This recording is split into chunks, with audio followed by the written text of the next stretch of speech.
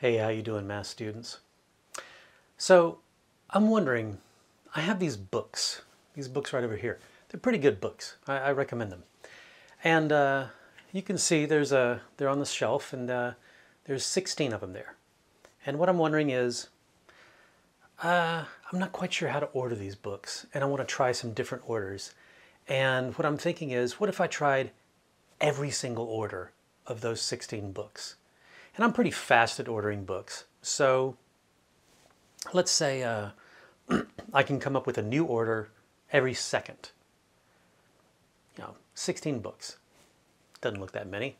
Uh, I, I can crank this out in an hour, right? no, no, no, no, no. Not an hour, not an afternoon, not even remotely close. So let's look why. So let's simplify things first.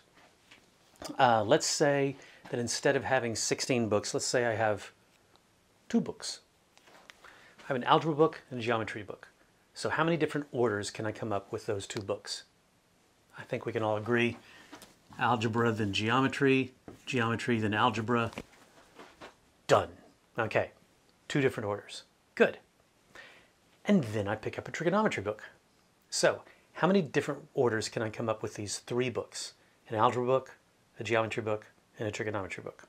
Well, I'll put uh, I'll put the trig book first, and then I'll order my algebra and geometry books those two two different ways, and then I'll put my uh, algebra book first, and I'll order my geometry and trigonometry book those two ways, and then I'll put the geometry book first, and I'll order my two, uh, my algebra book and my trig book.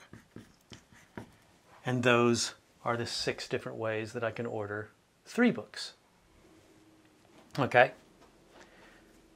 Then somebody gives me a calculus book. Now what? Hmm. Well, I can put my calculus book first and then come up with all the different orders of my algebra book, my geometry book, and my trig book. And I know what those are. That's going to be six orders. So six orders. And then I'll put something else first. Let's say I'll put the algebra book first. And I have the other three books. So the number of orders I have of those three books is going to be six orders. And now you see what's happening uh, with the geometry book, it'll also be six orders. And with the trig book, it'll also be six orders. So how many total different orders do we have?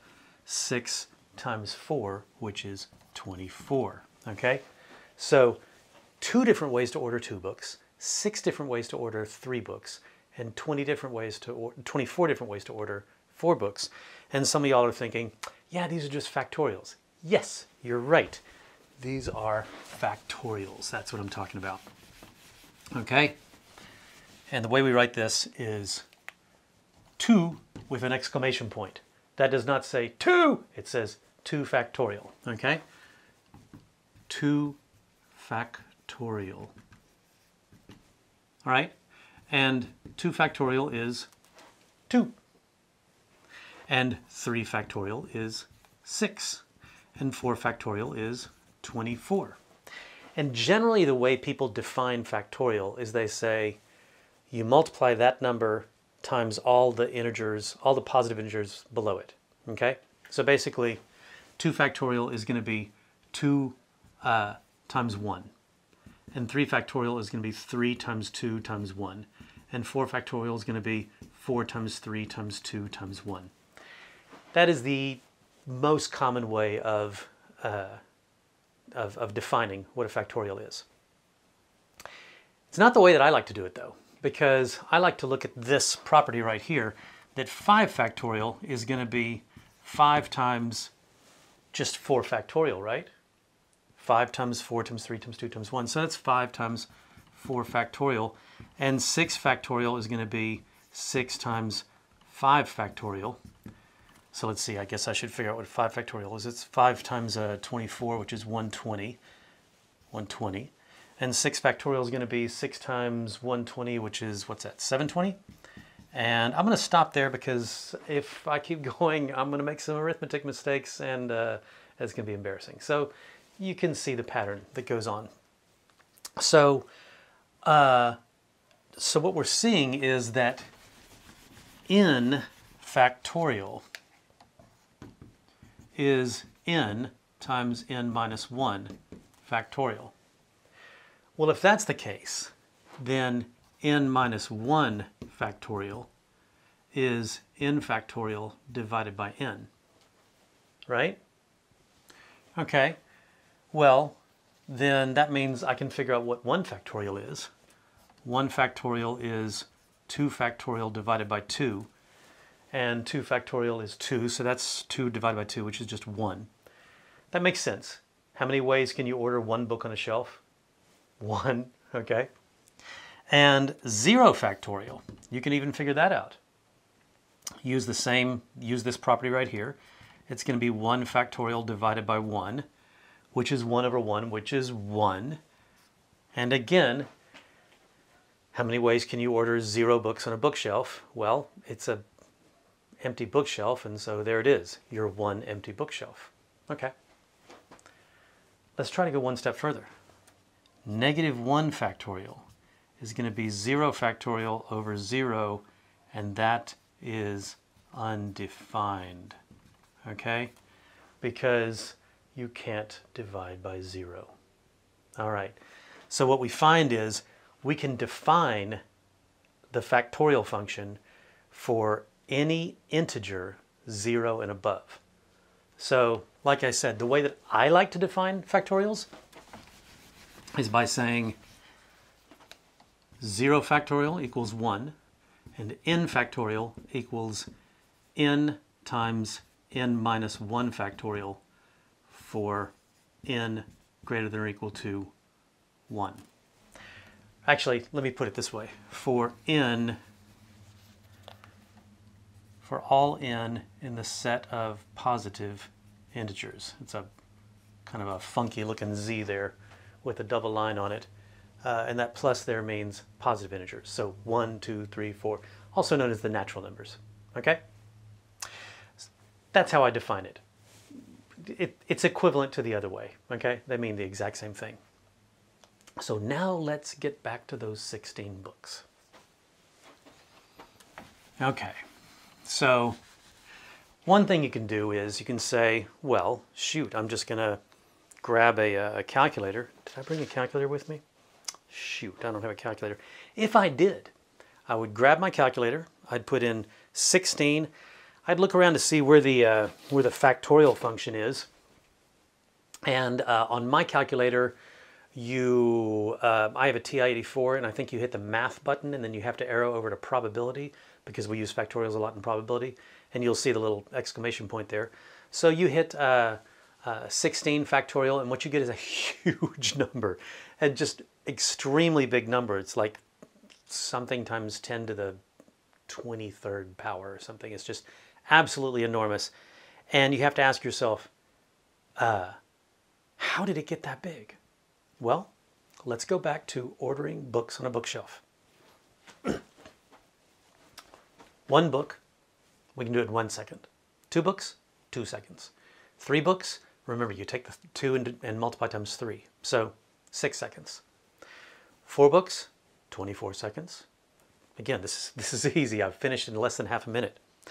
Five books, I'm to have to take those 24 seconds and multiply by five, which puts me up to 120 seconds, but that's okay. That's only two minutes. So cool. Five, five books. I'm only, only going up to 16. I'm almost a third of the way there, and it's only taking me two minutes. Easy. Six books, well, it's going to be two minutes times six, so it's going to be 12 minutes. Seven books is that 12 minutes times seven, which is getting me up to uh, 84 minutes, which is actually an hour and 24 minutes. Ooh, that's starting to take up some of my afternoon there.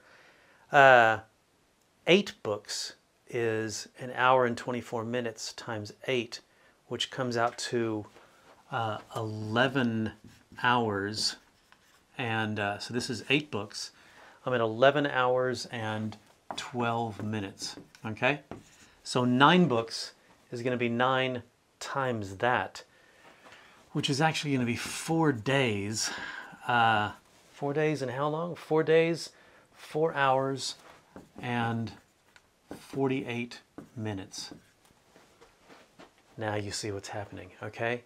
So the time it takes to order nine books, if I can do one order every second, is already four days, four hours, and 48 minutes. And that's without any sleep. That's every single second. Add a 10th book, and it's going to be 10 times this. What's that? That's 42 days. Add an 11th, 11th book, and it's going to be 11 times those 42 days, which comes out to 462 days, which is over a year. 12 books. Multiply that over a year times 12, and what you, what you end up with is, let's see, for 12 books, it's going to be, I believe that's 15 years and, uh, and two months. 13 books. Okay, fine. Take that. Multiply times 13. And what do you get? A lot longer than I'm going to live. 13, uh, 13 books is 197 years. I think we can say with pretty decent probability that none of us are going to live 197 years. So this is a bad project for a single person to work on, uh, ordering 13 books. It's going to take you 197 years to do it if you have if you if you do one order every second. 14 books, no problem. Just take that 197 and multiply times 14, and you get up to uh, uh, what is it like 2,760 years. so you see what's happening. 15 books, well, multiply that times 15 and you get up to over 40,000 years. Oh yeah, over 40,000 years, no problem. So if you just start ordering books, if you have 15 books, and if you start ordering them uh, like about 10,000 years before we started agriculture, you might be done around now. Good. And then of course, I had 16 books on my bookshelf.